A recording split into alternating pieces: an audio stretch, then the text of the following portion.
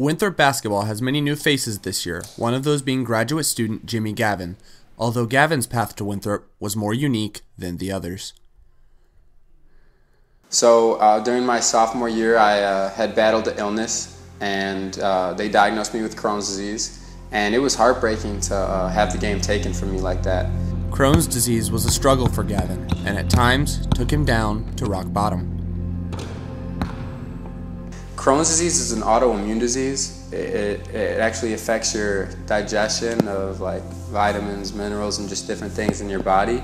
But it's, it would be insensitive to say how much of a struggle it really is on a day-to-day basis. I know at, at my lowest times, I, I couldn't get out of bed, didn't want to hang out with my friends or family, uh, no energy, emotionally and mentally it's tough.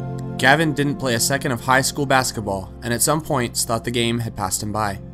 Uh, very rarely do you have a Division One scholarship athlete that never played high school basketball, never played a second of high school basketball. You know, people always preach that the ball stops bouncing at some point, whether it be 10 years, 20 years. I mean, it stopped bouncing for me for a period of time. Like I, I felt what it feels like to, to lose the game.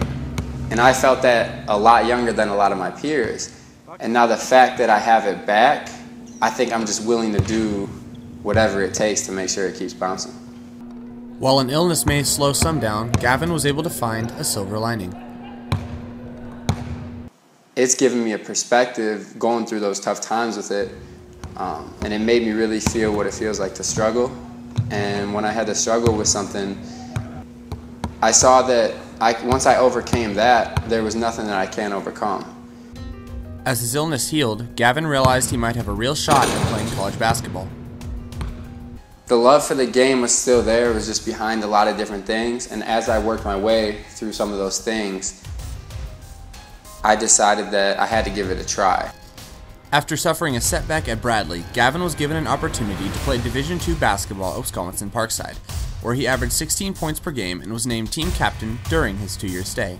Gavin feels like his competitive nature can help make the Winthrop Eagles better this year. You know, my mom says I used to do, you know, all types of stuff. I used to throw away second place trophies, and if she would take them out of the trash, I would walk down to the park and throw them out and say, if you want them, it's, you know, it's down there.